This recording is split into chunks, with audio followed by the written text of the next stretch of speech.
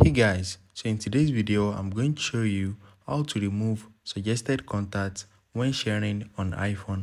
So if you want to share anything on your iphone so let's click on this upload. If you want to share anything you're going to see suggested contacts at the top right here.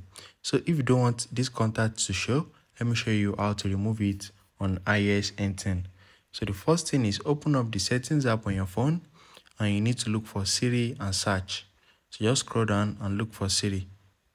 So once you click on Siri, scroll down again and you're going to see the option for show when sharing. So suggestions, just toggle off show when sharing.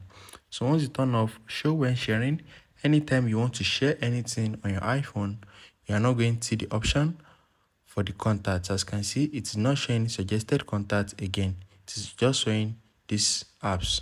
So we found this video helpful, smash the like button and subscribe to my channel for more amazing videos like this. Thanks for watching